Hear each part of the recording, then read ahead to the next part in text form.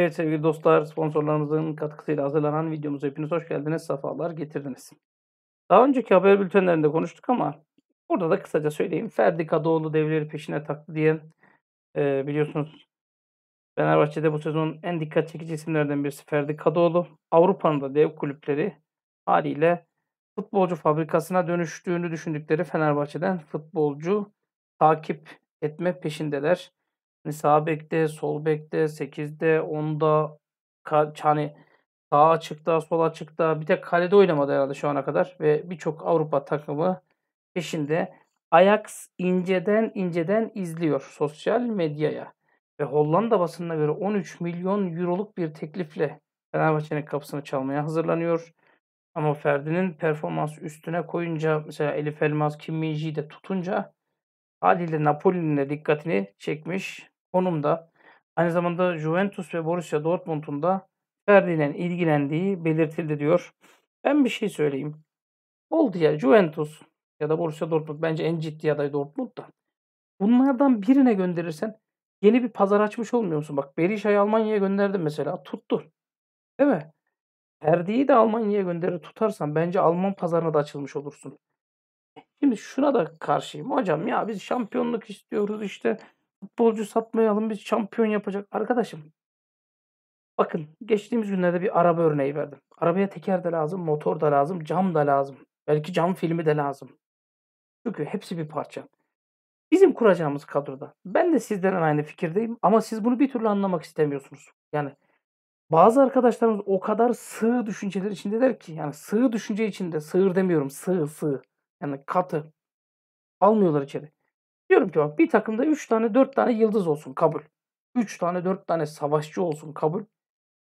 Geri kalan 2 kişi 3 kişi artık kaç kişi olsun onlar da genç potansiyelli yıldız aday olsun. Kabul müsünüz? Mesela bu videoda örneğini vereceğim. Şimdi örneğini vereceğim vermesin ama sürekli teknik direktör ile ilgili haberler çıkıyor. Yine haber çıkmış. Brezilya'dan Jesus iddiası hem de bu sefer yenilir yutulur bir iddia atmamışlar ortaya.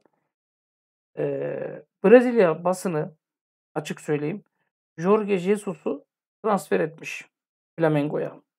Bitmiş mi? Bitmemiş. Bakın Jesus'u Flamengo'ya transfer etmiş. Hatta Flamengo'da ilk transferini bile yapmış. Yani transfer Fenerbahçe'de sözleşmesi bitecekmiş. Kesin olarak Flamengo'ya gidiyormuş ve Flamengo'ya dönüşü sonrasında da ilk transferini yapmış. Hayırlı olsun.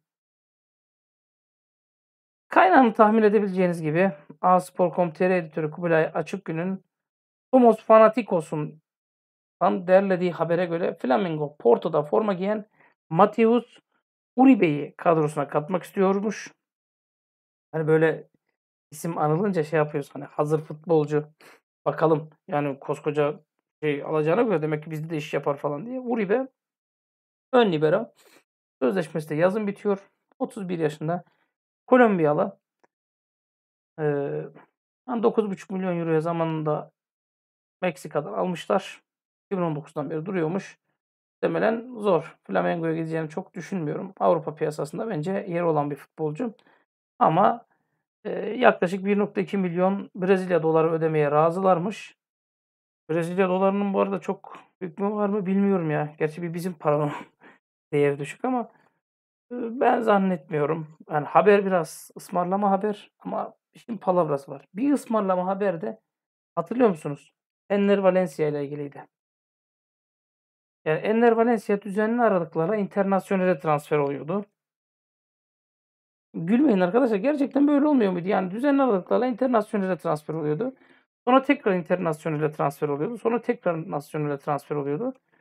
Sonra olmuyordu. Şimdi Fenerbahçe'de bu sezon attığı gollerle takımı sırtlamış durumda. Geleceği belirsizliğini koruyor. Merak konusu. Ama birçok bilgi var bu haberin içerisinde. Şimdi en formda dönemini yaşıyor. Attığı gollerle takımda e, taraftarlarda büyük bir yani kuyandırdı. Kaçırdığı gollerle 7 Cettin'in kulaklarını çınlattı. Ve 33 yaşındaki futbolcunun birçok talibi var. İnternasyonelle anlaşma sağladığı, hatta ön protokol imzaladığı dahi iddia edilmişti. Fakat Valencia'nın menajeri Gonzalo Vargas Çıktı dedi ki öyle bir şey yok dedi. Bunu kim uyduruyorsa bak ben ondan yargı, yargı yolu açık olmak üzere ben ondan hesaplaşırım dedi. dedi. Ve A-Spor'a bir açıklama yapmış. Demiş ki Brezilya'dan hiçbir kulüple sözleşme imzalamadık. Bu haberler doğru değil. Fenerbahçe ile görüşmeye devam ediyoruz demiş. Hem de haberin kaynağına demiş. Yani internasyonel haberin kaynağına. Valencia'da geçtiğimiz günlerde demişti ki Fenerbahçe'de kalmak isterim. Burada mutluyum. Bu durum anlaşmaya hani anlaşma sağlamaya bağlı. Umarım kalırım demiştim. Şimdi son dönemde sanki bir şımarıklık, bir düşüş hali var gibi. Doğruya doğru. Tabii bu da etkiliyordur. Futbolcunun kafası da rahat mı değil mi ayrı bir mesele ama ya son kontrat her zaman tehlikelidir. Son kontrat gerçekten tehlikelidir. Evet Valencia gayet iyi bir golcü. Önde basabilen, pres yapabilen, canı istediği zaman gerçekten maç ve maçlar kazandırabilen oyuncu. Mesela iki farklı eleştiri var. Birisi diyor ki büyük maçlarda neredeydin diyor. Ben de bir şey, bir şey sorayım. Büyük maçlarda takım neredeydi? Yani oynadığımız sistem neredeydi? Bir Galatasaray maçına 4-1-3-2 çıksaydın Valencia belki hat-trick yapacaktı. Ya olmaz olmaz demeyin. Bakın biz küçük maçlardan nispeten Anadolu takımları maçlarından niye daha çok gol atıyoruz biliyor musunuz? Diyoruz ki 4 yesek de 5 atarız. Kalitemiz var. Buna güveniyoruz. Bir şekilde atarız diyoruz. Ama Galatasaray maçı, Beşiktaş maçı, Trabzonspor maçı, Ren maçı, Sevilla maçı biz bunların hiçbirine fark atacağımıza inanmadık. Yani 4-1, 3-2 çıkarsak bunların bize karşı tedbir alacağına inanmadık. Ersun Yanal'la Jesus'un arasındaki fark bu. Ersun Yanal olsaydı 4-1-3-2 tuttu mu tuttu. Her maça 4-1-3-2 çıkardı. Bırakayım lan bunu tedbir alsınlar derdi. Rakibin aldığı tedbire göre de derdi ki bak şunu yaparlarsa şunu yapalım derdi. Jesus arada sırada sürpriz adı altında saçmalıyor şu üçlü savunma olayında. Valencia konusunda ben şunu söyleyeyim. Eğer saydığım maçlara 4-1-3-2 çıksaydık Valencia'nın gol sayısı şimdikinden belki de 5 fazlaydı. Onu da söyleyeyim. İnternasyonel cephesinde konuşmuş. Demiş ki Valencia'nın Fenerbahçe ile sözleşmesi bulunuyor ve Avrupa'da iyi seviyede oynamaya devam ediyor. Şartlar elverişli olursa internasyonel doğru hamleyi yapacaktır. Oyuncunun sözleşmesi devam ediyor ve kulüpteki sözleşmesi yenilenmeye çalışılıyor. Görüşmeler nasıl ilerlediğini zaman gösterecek demiş. 33 maç, 23 Süper Lig olmak üzere 26 gol, 4 asist ve güncel piyasa değeri 3 milyon euro. İddia ediyorum Galatasaray'ın futbolcusu olsaydı 13 falandı piyasa değeri. Bu kadar gole 3 milyon euroda tutuyorsanız transfer markettaki bütün personelinizi kovun. Hiçbirine ekmek yedirmeyin. Haram zehir zıkkım olsun. Ya şu performans eğer 3 milyon euroda duruyorsa iyi de hocam yaşı çok gençmiş. Lan açın. Açın sosyal medyayı. Açın Premier Lig'deki dandik dandik futbolculara bakın 33 yaşında 34 yaşında. 13'ler 15'ler 17'ler 20'ler havada uçuşuyor. Siz ne bahsediyorsunuz?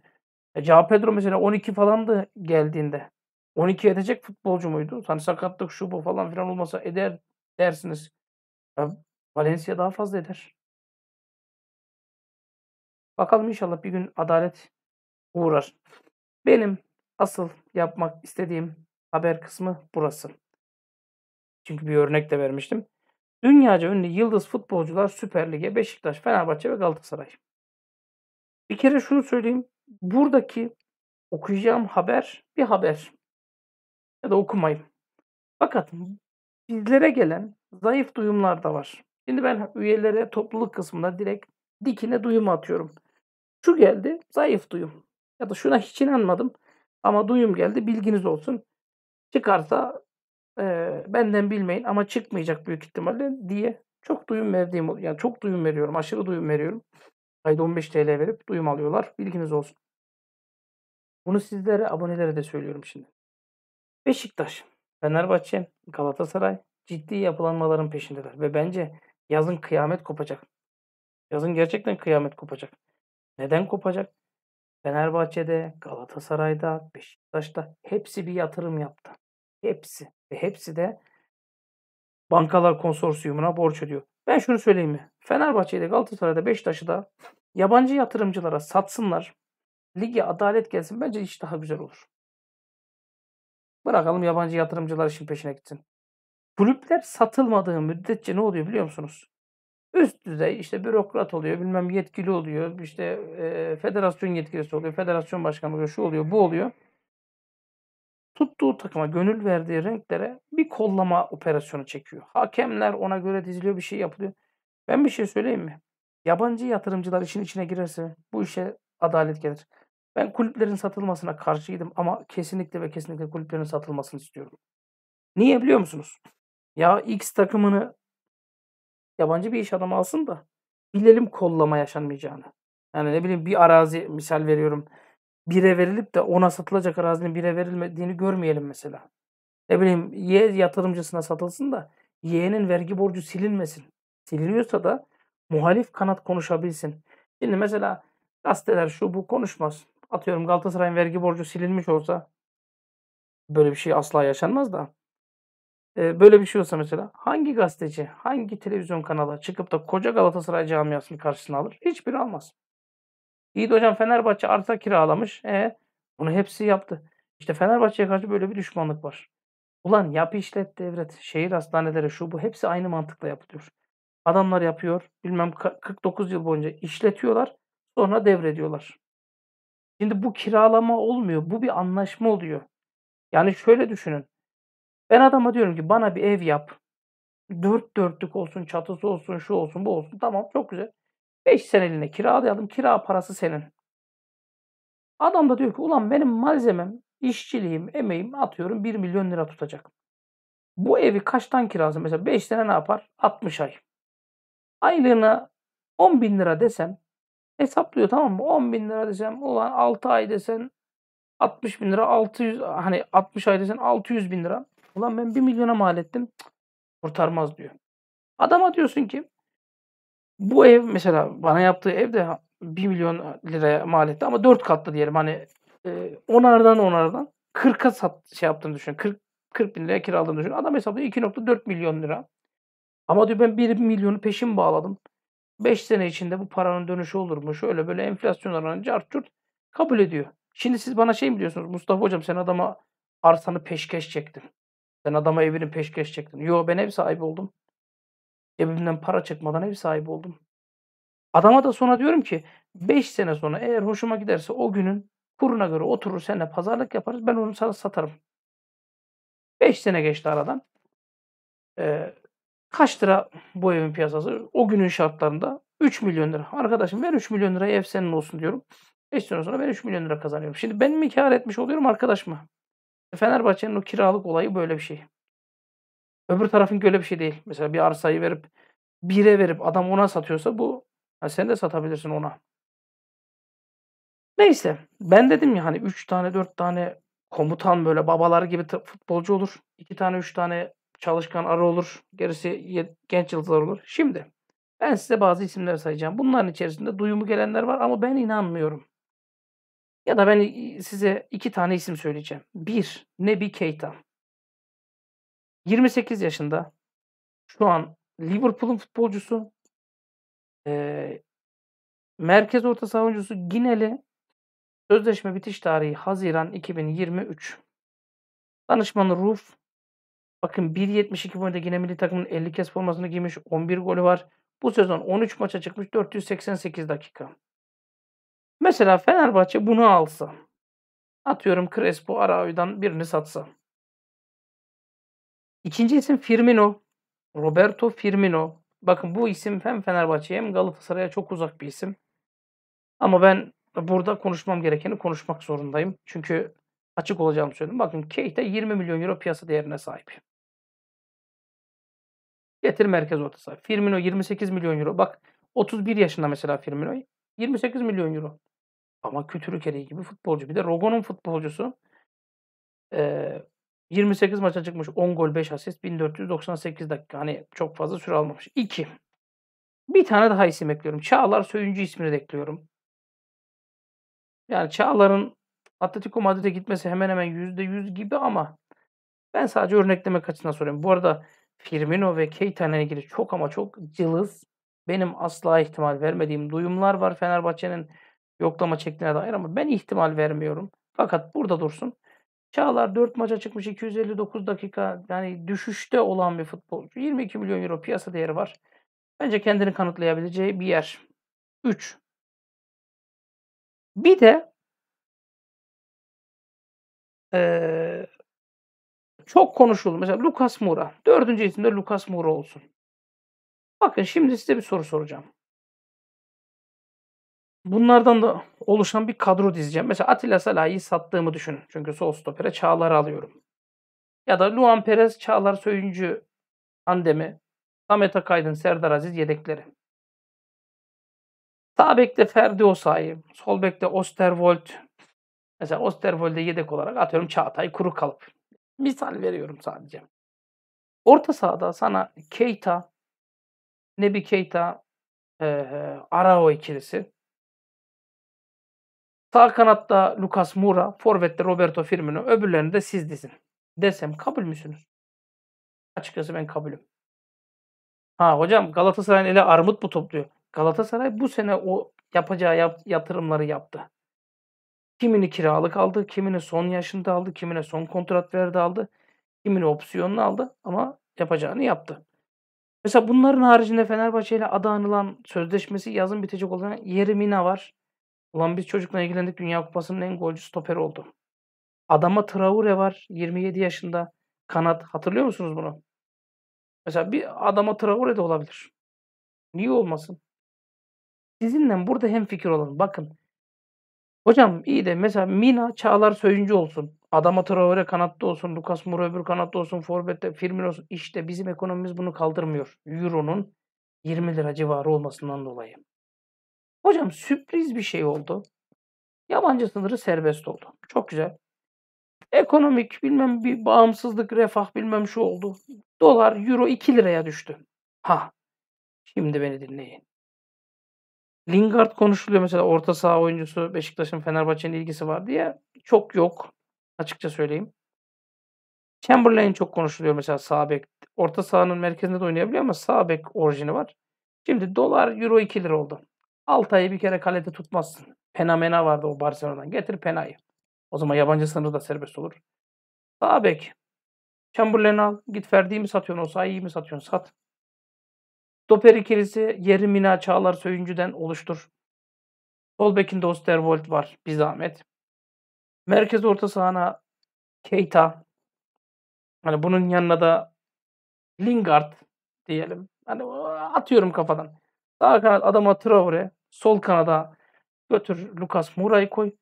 Forvet'e e, Firmino'yu ekle. Firmino'nun arkasına da Arda Güler'i ekle misal veriyorum. Ben de böyle bir takım isterim. Niye istemeyeyim? Ama hayatın bazı gerçekleri var. Hayatta para diye, maddiyat diye bir gerçek var. Arkadaşlar ben anlaşılmamıştır diye bir kez daha söyleyeyim. Nebi Keita ve Firmino ile ilgili Fenerbahçe'nin girişimlere başladığı duyumu var. Fakat ben buna inanmadım. Daha önce Firmino ile ilgili bir görüşmemiz vardı. Rogon menajerlik şirketi bize futbolcu öneriyor. Biz de diyoruz ki ya Firmino sizin değil mi? Bize getirin diye.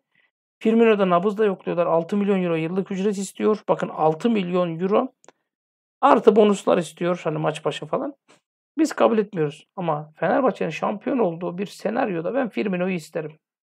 Hele ki Valencia falan hani sözleşme uzatmayıp giderse çok da güzel doldurulur yeri Firmino'yla. Müthiş doldurulur. Müthiş. Ya da Batshuayi'yi rekor bir parayla hani 3.5 aldık ya atıyorum 15'e sattığını düşünüyorum. Uyduruyorum. Getir Firmino'yu. Firmino, Valencia, Serdar Dursun. Süper Lig'in çok ötesinde bir hücum attı. Yeter. Yeter. Kanatlara hani bu Adama Traore, Lucas Moura falan düşündürücü bir isim. Keşke şu Greenwood olsaydı. Vallahi var ya Süper Lig'in kaderi değişirdi ama ben yine söylüyorum bu Nebi Keita ismi ve Firmino ismi eğer Fenerbahçe becerirse al iki tane yıldız. Bak iki tanesi bile yeter size. Çünkü geri kalanlar içerisinde yıldız ya da yıldız adayları var. Sonumuz hayır olsun. Sosyal medyaya göre Jesus gidiyor ama Fenerbahçe'ye yıldız yağmuru. Premier Lig bahçeye dönüşüyoruz.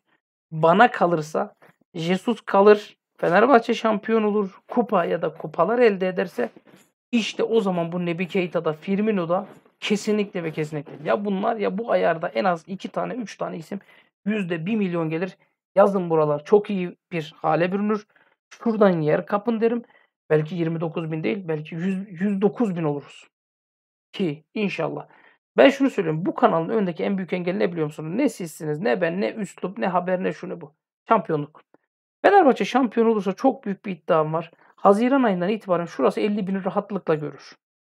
Belki eylüle kadar hani, eee, Fenerbahçe'nin transferlerine şuna buna belki 100.000'leri bile görürüz. Usta bir çocuk olursak belki şirinleri bile görürüz hesabı.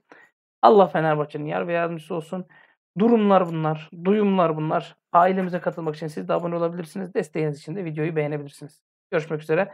Bu arada bu video muhtemelen ben 14 Mart gibi çekiyorum ama muhtemelen 15 Mart'ta yayınlanacak. Eee, hedefimiz tabii ki seviye amacı ama hayat devam ediyor. Bir şekilde önümüzdeki sene de planlamasını yapmak zorundasın. Uzun vadeli hedeflerine de koşmak zorundasın. Bu tip videolarda sıkça göreceksiniz artık. Çünkü mart ayındayız. Artık ön görüşmeler başlıyor. Belki ön protokoller başlıyor. Habere ulaşmak için, duyumlara ulaşmak için, transferlerden haberdar olmak için Fenerbahçe'ye ait 7/24 videolar izlemek için kanalımıza lütfen abone olun. Görüşmek üzere.